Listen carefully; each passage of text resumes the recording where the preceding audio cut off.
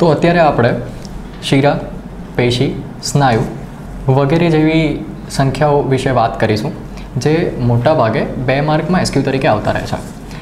આ આખી ક્વેશ્ચનને આપણે બે ભાગમાં સેપરેટ કરીશું. ત્રણ એવા ક્વેશ્ચન્સ છે જે ટ્રીકથી સોલ્વ થઈ શકે છે અને બાકીના ત્રણને બે બેના બંચમાં આપણે ડિવાઈડ કરેલા છે, જે હવે આગળ આપણે જોઈએ.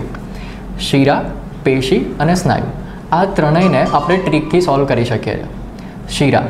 શિરામાં શ આવે છે? એના ઉપરથી સાતસો. પેશી. પેશી પથી ચાલુ થાય છે. એના અનુસાર પાંચસો. અને સ્નાયુમાં વચ્ચે ન છે, જેના આધારે નવસો સેટ કરી શકીએ છીએ. તો ખ્યાલ આવી ગયો ફરી એકવાર. શિરા શ સાતસો, પેશી પ, પાંચસો, સ્નાયુ ન, નવસો. આ ત્રણનું ટ્રીક ઇક્વેશન આપણે સોલ્વ થઈ ગયો. દેન આફ્ટર ત્રણ ત્રણ બંચ છે જે બે, બેથી થાય છે. જેમ કે મર્મ અને ધમની.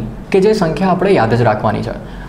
ધમની ચોવીસ હોય છે અને મર્મ એકસો સાત હોય છે. આ એક બંચ પત્યું દેન અસ્થિ અને સંધિ, કે જે બંનેની અંદર હાડકા આપણે ગણી શકીએ. તો અસ્થિ અને સંધિ. અસ્થિ ત્રણસો અને એ અસ્થિઓથી બનતી સંધિ બસો દસ છે. કલા અને આશય.